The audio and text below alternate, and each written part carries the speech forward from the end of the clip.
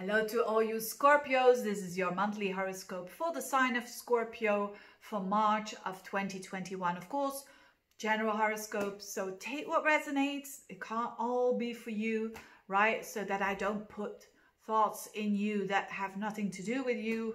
And of course, a Scorpio wouldn't allow that, would they? Absolutely not. Absolutely not. Um, but what is this month all about?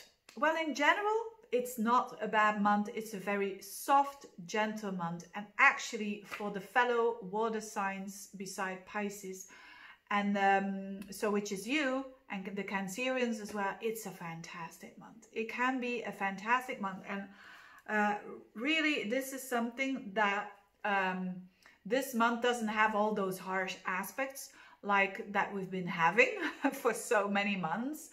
And um, it's nice to see for the water signs that there is a lot of a bit more magic in their life possible.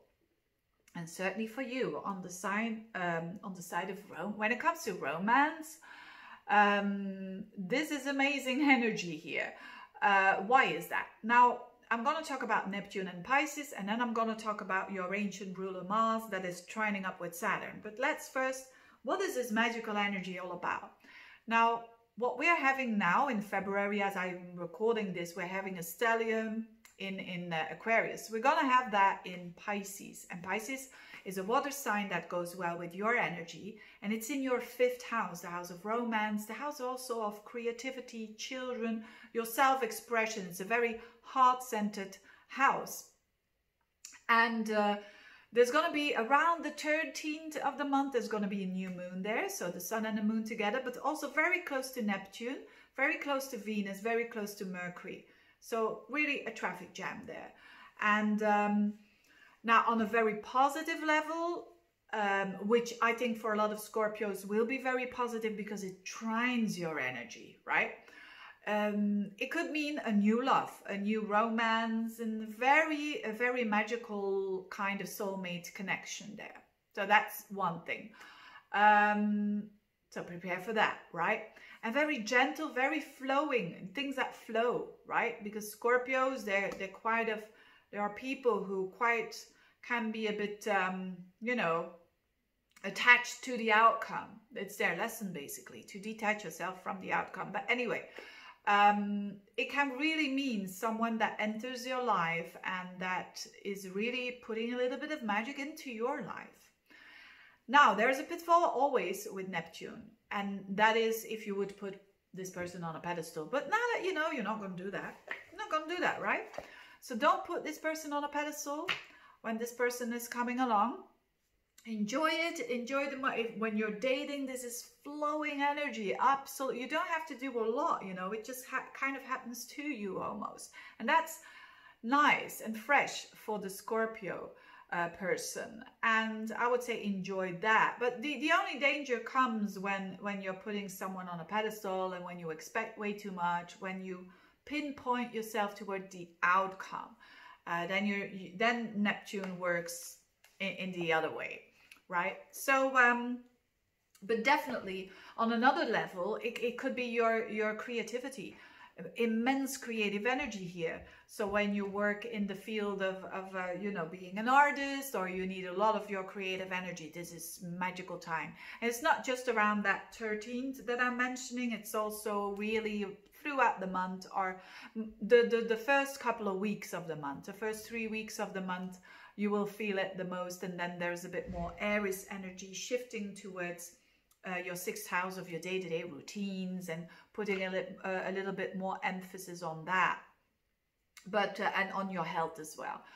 But um, I love it. I love this uh, creative energy. I love this soothing energy. I love this healing energy. So also with children, it could be that your child is going through a phase like that. Or you're, you're your connection with your child is is uh, very good or, or smooth or going or there's, there's this healing aspect going on um, as well. I would want to stop there actually because it's very dreamy, but you know, um, I like that. I, I know that Scorpios, they, you know, they are suspicious always, but I, I've warned you, right? I have Scorpio energy in me as well, like uh, my, my Venus there and my ruler, Jupiter, Venus, Jupiter, Anyway, Not talking about me here. What is going on with you, Viola? Now, um, and having fun as well. Yes, the, the fifth house is a house of fun. So have some fun, have some fun. Uh, uh, do some things, um, maybe with the water element, you know, swimming or, or what else can you do in the water? Diving, diving, why not? Anyway, hobbies, very important. Another good energy, which is a bit more serious, is um, Mars in Gemini on the 5th of March entering your your house actually, your eighth house, and it trines Saturn in your fourth house. This is deep. This is your cup of tea again, because these are emotional houses, the eighth and the fourth house. Fourth house is your roots, or literally your home, and the eighth house is, is your house. It's about life and death. It's about transformation, psychology, value of other people, ego struggles, all of that. But this is good energy.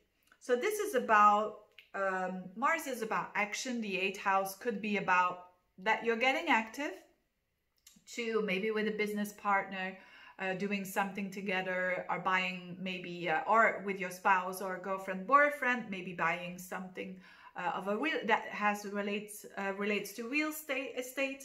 Why? Because it's the fourth house of home. So you could be planning on doing that.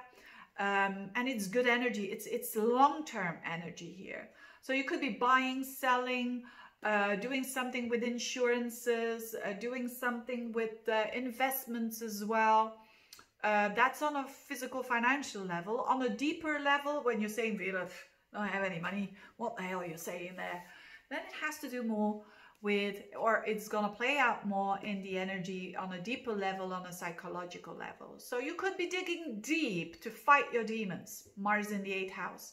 You could be digging deep there. And that has a very good effect on your emotional well-being, which is the fourth house. So really like that for you there.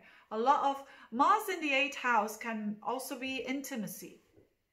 A lot of intimacy or you uh, want to be more active so that you um that you will and with intimacy it's not just sexuality it's it's body mind and soul you know scorpios it's always like that right body mind and soul um, and it's uh, like truthfulness and authenticity in your intimate relationships.